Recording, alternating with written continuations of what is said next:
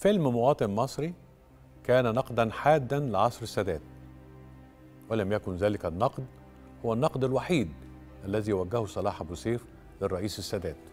كانت علاقة طيبة كانت علاقة طيبة وكان مختلف معاه في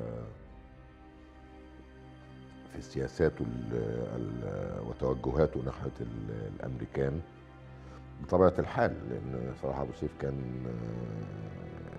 اشتراكي بحكم نشأته وبحكم تفكيره بحكم ظروف البلد.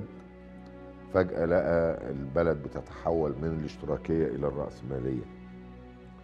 فتنبأ إن ده هيعمل هزة في وده وده اللي حصل فعلا. البلد اترجت رجة آه، مش طبيعية يعني. آخر موقف أنا ابتديت لما أنا اتجهت أخرج للمسرح بعد كده.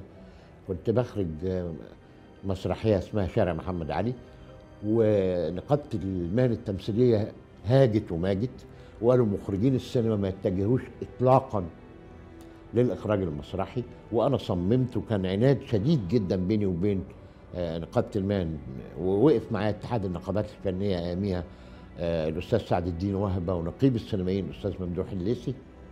فقابلت الأستاذ صلاح ابو سيف في مطار في باريس.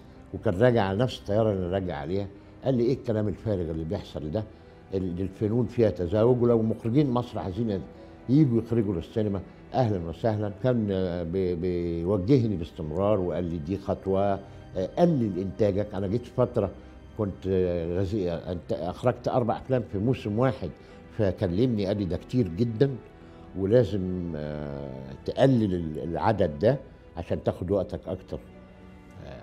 في التحضير. هو كان بيتردد على معهد السينما باستمرار عشان يقوم بدوره في تخريج الأجيال الجديدة الهامه آه، لكن آه، أنا ما أفتكرش إنه اعتزل لأنه كان عاشق للسينما وأنا فاكر في مهرجان تكريم كبير جدا ليه وبيقولوا له آه، السينما بالنسبة لك بتمثل إيه؟ قال كلمه واحدة قال حبيبتي. فارتباطه الشديد جدا ده ما كانش هيسمح بيه ابدا إنه يعتزل أو يترك أحب الأشياء إلى قلبه. أنا أفتكر المرض وتردده على المستشفى في آخر أيامه هو اللي خلاه يبتعد عن آه، الإخراج في الفترة دي. آخر موقف آه، كان آه، لما بيقدم لي محمد أبو سيف المخرج الواعد الجديد. ما بقاش دلوقتي واعد لأنه بقى محنك وبيشتغل وله كرامته. وله كبرياءه وقيمة لأنه ما بينزلش ولا بيتسول ولا بيستنى ولا بيشحت فيلم. كتبت مرة في باب سماعي قلت لا زال عند صلاح أبو سيف الكثير ليقوله لنا.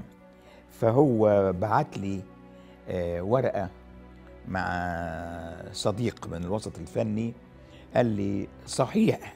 لدي الكثير لأقدمه ولكن ليس لدي العمر لأنفذه.